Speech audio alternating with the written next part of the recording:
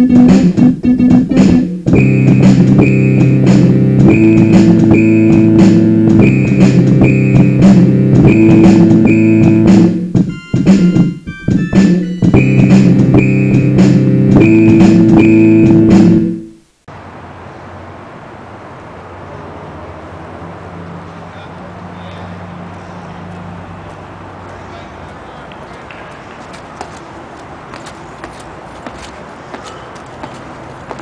That's how we do it. All right, we are here at Saxby's Coffee. It's a little little booth you can stop by. It's at Liberty Place, I guess. Brandy said it was called. Yes? Shops at Liberty Place. The shops at Liberty Place. It's like a mall in the middle of the city.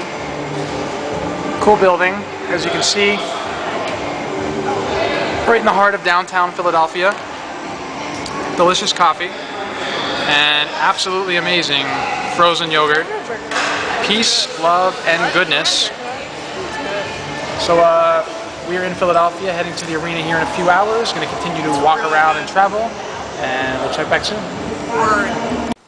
Alright guys, we are back once more. Part 3 of this little video. The last two videos you've saw have all been clips of me on my recent journey to Philadelphia, PA, and Adamstown, Middletown.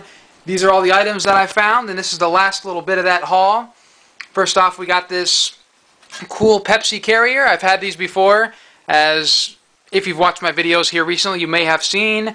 Um, this one I'm only into it, I think, $20. And the cool thing about that is I also got this Pepsi bottle thrown in. So, you know, easily probably going to get a good, I would say, 40 to 50 bucks out of that carrier. And, you know, 2 to $5 out of that bottle. So good little score right there. The last one of these I had, I had down at one of my co-op booths, and it wasn't around for too long. I think I sold it within about a week. So I'm uh, going to take that down to that same spot. This is from a co-op booth, actually or also, uh, um, cool little score right there. Love it. All right.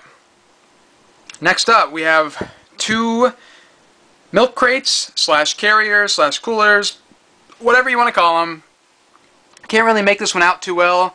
It says property of Abbott's. If you look closely, you may be able to see that, but it's in pretty good condition. And the one on the bottom here says Rosenberger's Dairies. So that's very cool as well. Never really had a white one before. I'm only in these $15 a piece, paid $30 for the pair, and I'm probably thinking I can get between 30 and $50 a piece.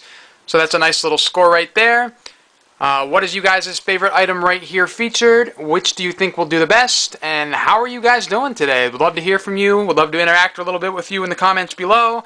So uh, leave a comment or uh, head on over to my Facebook page, facebook.com slash ounitproductions and you know add it up there like that page and we'll interact over there that's it for now hope you enjoyed the episodes this week uh, which was your favorite item featured this week we had these cool items I just showed you right here in addition to the Miller and the Schaefer's beer advertising clock slash light combos there and then also the signs the Pepsi the the beer plaque down there, the Sunshine off-brand, or the uh, kind of dark there, but the Drink Moxie sign.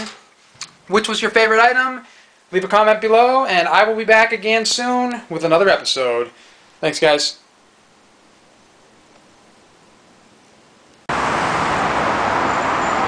The Benjamin Franklin Bridge. I forgot that I was taking a video instead of a photo, so now you guys get to see the Benjamin Franklin Bridge here in Philadelphia, Pennsylvania as well. Cheers.